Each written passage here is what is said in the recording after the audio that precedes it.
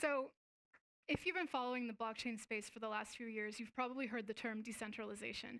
And decentralization is a fantastic concept. It allows us to build systems that are secure and correct, but they don't rely on one party for their security and their correctness.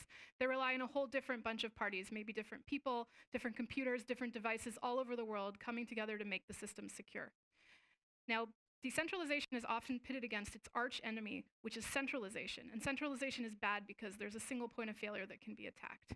But what I want to do in this talk is I want to step back from this dichotomy that I often see being discussed in the blockchain space, centralization versus decentralization, and really think about what blockchains give us, which is trust and security. And so what I want to do in this talk is talk about how blockchains can help us build the future of trust.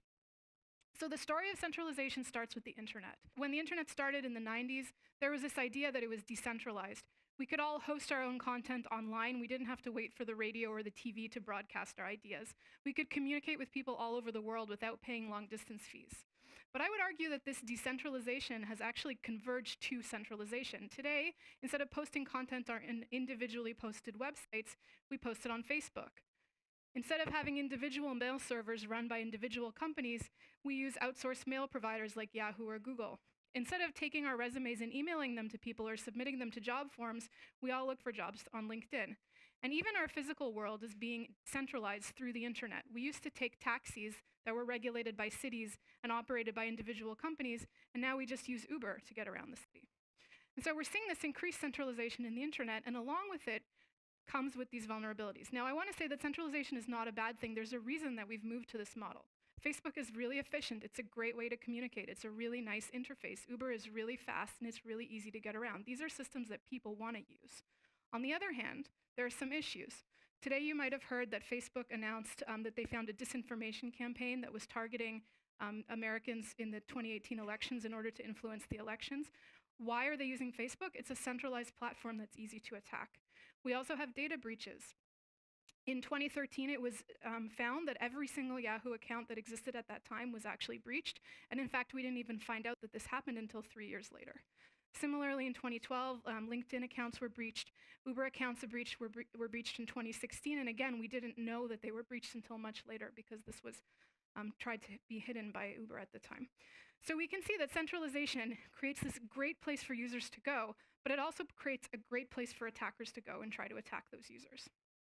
And so the promise of the blockchain is that instead of having to trust a single centralized party with our data or information or our money or whatever we're using the blockchain for, we can actually trust a bunch of distributed parties.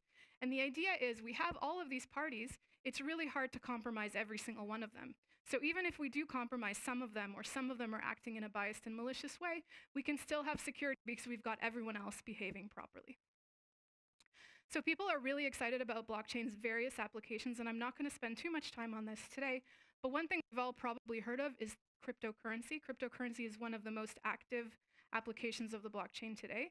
What it gives us is we can use blockchains to build a decentralized currency. Instead of trusting a central bank to issue currency, instead of trusting a government, we can have decentralized borderless currency that does not rely on banks. And so there's been a lot of excitement about Bitcoin, Zcash, Vertcoin, all of these different types of currencies that are being built on top of blockchains. So what's one of the first applications that people are using cryptocurrency for? They're actually using it for investment and trading. And so one very sort of common use case today is I've bought a bunch of Bitcoins and I've decided that I want to buy some other kind of currency. Maybe in this example, I want to buy Zcash, which is a kind of anonymous cryptocurrency. So how do I do that? Okay, let's talk about how people do that today. So we have our user Alice. She wants to trade her Bitcoins for some Zcash. How does she do it? Well, what she does today is she goes to a centralized exchange, a centralized cryptocurrency exchange. She gives her Bitcoins to that exchange. Then she tells it, I would like to buy some other kind of currency, let's say Zcash. What's the price? Okay, I like this price. Let's go ahead. And then the exchange will then give her her Zcash later. She'll be able to withdraw the Zcash from the exchange. This is how you trade cryptocurrency today at centralized exchanges, and there are tons of these all over the world that people are actively trading on. So this is great. People want to trade on centralized exchanges. Why? Because a lot of people can come to the exchange, trade the currency with each other. Prices are good. UX is good. It's convenient. It's fast. People want to use these systems. That's why we have these systems. But at the same time, if we take a step back, isn't it strange that we've invented decentralized currency, but then what we do with it is give it to centralized exchanges and that's how we use it and that's how we trade with it, we're seeing this mirroring of what happened on the internet when it went from decentralized to centralized again. And so in the, in the blockchain community, there's this discussion now about maybe we shouldn't be using centralized exchanges anymore. Maybe we should use decentralized exchanges. Why are we trusting the centralized exchange? And in fact, this is not just a theoretical concern. We've seen issues with centralized exchanges. In 2014, there was the famous um, hack of Mt. Gox, where 750,000 bitcoins were lost. You have to think that a bitcoin is roughly around, let's say, $10,000 today per coin. So 750,000 of them were lost in 2014. And this keeps happening. These are different exchanges that have been hacked, including one in Japan that happened this year, which called the biggest theft in the history of the world, without exaggeration. So you know, the, the promise of centralization is actually leading to these types of attacks. So what do we do about this? So there's a whole movement towards decentralizing exchanges, but what I want to argue in this talk is actually this is missing the point. The whole point of blockchains is not centralization versus decentralization.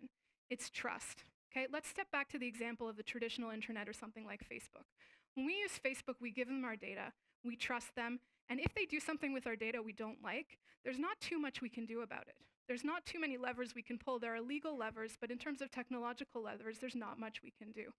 On the other hand, when we work with cryptocurrencies or blockchains, we have a blockchain. A blockchain is decentralized a blockchain has to be, you have to compromise a lot of parties if you want to actually compromise the blockchain. And so why are we so focused on the centralization versus decentralization question when we're, we, what we should really be thinking about is the blockchain question. Do we have a blockchain question? Do we have a blockchain here? Is there something we can trust instead of the centralized party? And so what we're doing in our company at Commonwealth Crypto, and the sort of viewpoint that I have for this entire space is that we don't need to think about it as a dichotomy between centralized and decentralized. We can build centralized systems that are backed by the blockchain. If we trust the blockchain, we don't have to trust the centralized system. So let me give you a picture here. We have our centralized system that can be compromised, but actually what's giving us security and backing our actions is the decentralized system, all of these parties working together to make sure that the blockchain is secure and correct. And so in specific, what we're doing right now is building systems for trading at centralized exchanges that rely on the blockchain for security rather than the centralized exchange for security. Even if the centralized exchange is attacked, we can still have security. People's coins don't have to be lost. And as a bigger picture, I think it's a really exciting time right now as these blockchain systems are being built and as the community starts to think about what do we actually want from a blockchain? What do we actually get from a blockchain? Do we get decentralization?